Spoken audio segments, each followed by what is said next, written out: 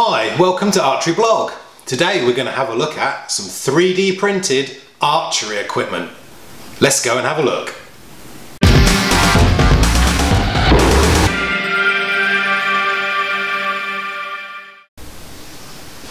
Okay, so this is my 3D printer uh, going through the uh, actions. This is a Creality CR10 model So I've labelled this video my top five um, archery pieces, but they're not really in any order. It's just five uh, pieces that I found quite interesting uh, and that you can print as well. Now the great thing about this really is that it brings 3D printing and archery together. So whether you've already got a 3D printer and you're just getting into archery, here's some things you can print, or if you're an archer already and you're thinking about buying a 3D printer, obviously you're going to be interested in printing some archery equipment straight away as well.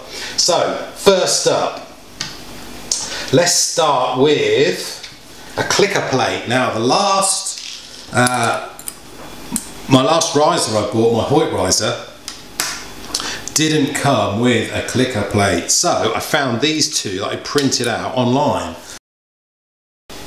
One's got holes in it, as you can see the ridges, and the other one's um, got lines across it for clicker marks. It was a lot longer than that, it was about that long and I kind of cut it off because it was just too long for me. So the great thing is you could uh, change the sizes of your clicker plate and here it actually is on my riser.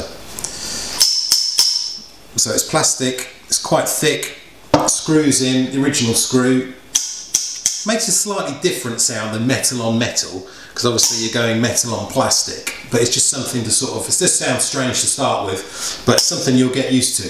So the link to this, the link to all these items that I've uh, printed off thingiverse.com is below in the description.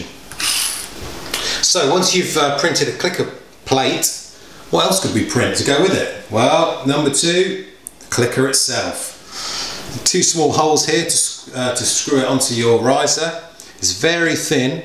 I've not tried it. It's not going to make a metallic sound because it's plastic, but you could wrap some kind of metal around the end here to get a sound out of it.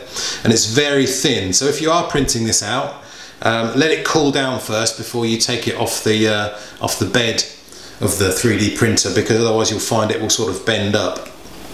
So let it cool down first before you scrape it off and be really careful when you do scrape it off. So there's your clicker and there's your clicker plate that would uh, that would go together. Something like that. So that was my uh, number two. My number three there's a lot of these on thingiverse.com um, target face pins. Uh, what I liked about this one was the kind of ring pull. Because um, it's always a pain to get these things out of the target sometimes. Um, so there's no metal in this. It's all plastic uh, it's really nice to put your kind of finger in here and just be able to pull it in and out of the target and it's quite sharp on the end.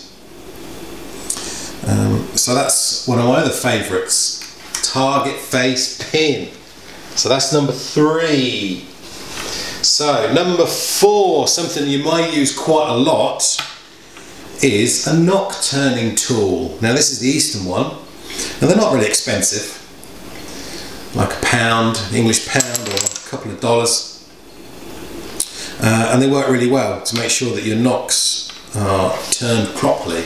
But yes, you can print one yourself in whatever colour you choose. I've printed all these in black, but obviously you can buy different colours of uh, PLA. These are all printed in PLA filament. Um, so this one works just as well. You've kind of got the hole down there and the wings on it um, there are a few different versions of these this on Thingiverse, but if I grab an arrow, uh, what you will find is that obviously the Easton one is sort of clear, transparent. You can get transparent PLA plastic, but basically that goes over the end of the arrow, and then you would just turn it. Uh, this one doesn't fit quite as nicely, but it does still work. But it does still work. You turn that, you turn your nock. So there's the original, which looks a lot prettier. I mean, they don't cost a lot to print these, to be honest. Um, and you might as well just buy an original. But if you needed a spare or something like that, or you wanted to print your own, then you could do. So, that's Nock Turning Tool. So how many pieces is that? One, two, three, four. Okay, and my fifth, well I had to do it really, didn't I? An arm guard or a bracer. Yeah. So this I, printed in silver. Obviously when it comes off of the uh, print bed it's flat. So how did I mould it to my arm? Well what I did was I went upstairs with a hairdryer and gently heated it it then becomes moldable and you can kind of mold it around your arm there. I need a bit more work to do with it, to do on it actually. Um, but then what I did was I took off, you can actually print these clips in plastic as well. They've got them on there. But what I did was I re removed um, them off my old one and then I just sat there with some elastic and I actually stitched, stitched by hand these back on again. So, uh, so yeah, arm guard. And it works pretty well. So that's something I would have a go at as well. There's quite a few different designs on there as well, such as the long uh, thin one, like the biter one, that's on there. Um, or you could go for something like that in any kind of colour you wanted. So they are my top five at the moment 3D printed archery pieces. Um, if you've got anything that you find that you think would, would be great to print, tell me in the comments below and I'll print it uh, otherwise, I'm going to do another one of these. So if you like it, please like and subscribe. And then what I'll do is I'll put out another one once I've found another five really useful pieces of archery equipment that you can print at home.